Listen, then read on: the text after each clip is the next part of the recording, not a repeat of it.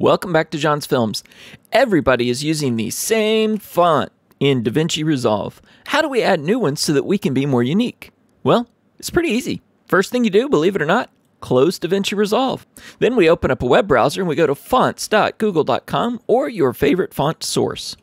Here you're able to put in even the sample text, sample text that you'd be looking for, and you can look exactly through. Hmm, that is the font I want to add into my DaVinci Resolve project.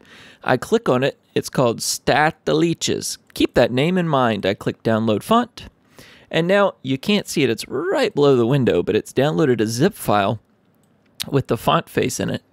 So I double click on that and it opens it to show me a little bit more about that font, but there's an install button up here. When I click install, it now is installed. Close that window, close that window, close that window. And now what I do is reopen DaVinci Resolve.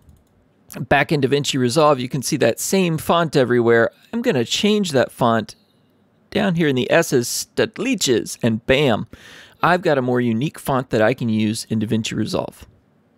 If this has been helpful, please feel free to buy me a coffee. The link is below. But make sure to click subscribe so you can catch any more of these tech shorts in the future. Thanks for watching and have a great day.